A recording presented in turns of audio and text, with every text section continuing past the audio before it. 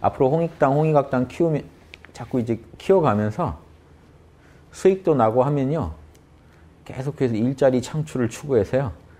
예, 보살들이 이 보살도 하고 자기 생계 해결할 수 있는 기반을 갖춰가려고 노력합니다. 왜 이게 새로운 이게 소승적 승가 조직이라면 이게 대승적 승가 조직은 이래야 돼. 예, 지금 대승불교요 표방하는 정단들은 다 그렇게 해야 돼요. 거추장스러운 옷 입고 지금 거기 계실 게 아니고 속세랑 분리된 그런 삶을 살아가지 마시고 예, 옷 입고 예, 사회로 들어가세요. 그래서 육바라미를 자기 자기 재능이 있는 분야에서 육바라미를 구현하고 밤에 또 모여서 수련하고 뭐 낮에도 모여서 서로 스터디하고 수련하고 그러면서 바로 또 사회 구현하고 내 재능을 이 사회에 아주 신바람나게 쓰고 있다라는 기분도 느끼면서 동시에 생계도 해결하고 거기서 도덕 닦는 조직. 앞으로 나라가 이거를 해야 되는데요.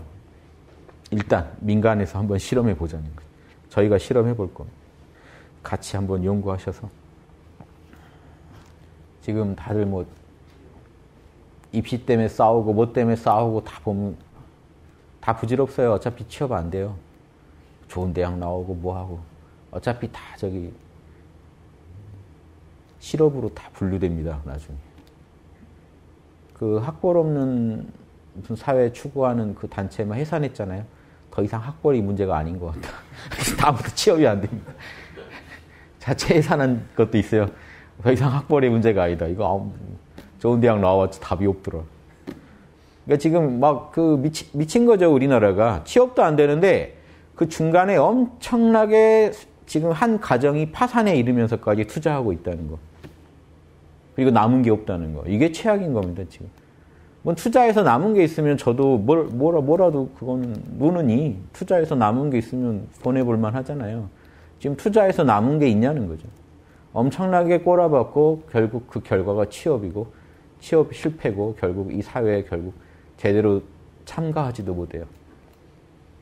그래서 뭐야 뭐야 어디로 갑니까? 편의점으로 가고 어디로 갑니까?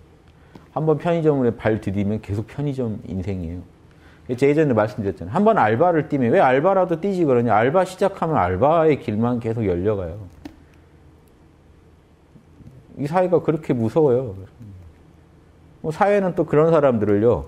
야 알바가 뭐가 주, 중요하니 너의 재능을 편다는 게 중요하 이런 얘기 해주는 게 아니죠. 언제까지 알바할 거냐 이렇게 봅니다. 그러니까 사회도 그렇게 봐주면서 나고자라고 부르면서 또 취직도 안 시켜줘요. 또 더럽게 그 시험 보는 거는 또 힘들게 해놨어요. 최악이잖아요. 결국 이 와중에 재미 보는 거는 빽이 든든한 사람들만 재미 봅니다. 그러니까 금수저론이 나오는 거죠. 안타까운 현실 아닙니까? 어떤 시험도 보니까 다 지금요 부자들이 유리해요. 힘 있고 부자들한테 유리합니다. 지금 입시가 다 수시가. 그래서 제가 수시 대폭 축 써야 된다고 주장해 본 거예요. 취지는 좋아요. 그런데 절대 공정하지가 않습니다. 결국 그 결과를 조사해 보세요. 우리 예전에 수시 없을 때랑 비교해서 결과를 한번 조사해 보세요. 명문대생이 도대체 그 아마 가정 환경 조사해 보시면 바로 나올 거예요. 얼마나 늘었는지. 강남 사람들이, 있는 집 사람들이 얼마나 차지하고 있는. 왜 그렇게 됐을까? 근데 지금 정부도 그걸 개선할 거로는 안 보이더라고요. 이런 거 되게 안타깝습니다. 그래서 저희는 실험해보자는. 우리라도 준비하자. 보살 조직 만들고 이 각자 자기 재능을 이 보살도를 승화시킬 수 있는 분들 모여서 생계도 해결하고 그런 조직 도도 닦고 생계도 해결하는 협동조합식이 좋으면 협동조합이라도 만들어서 실험해 볼 생각입니다. 홍익학당에서 다 취직시켜 드리고 싶어요. 온 국민을. 길만 있다면. 그리고 보살도 하시라고. 알바니 뭐니 그런 게 아니라 보살도 하시라고. 여러분의 재능을 양심에 맞게 펼치시기만 하면 여러분은 잘 살고 계시는 거라고 응원해 드리고 싶고 당당한 보살이라고 말씀드리고 싶어요.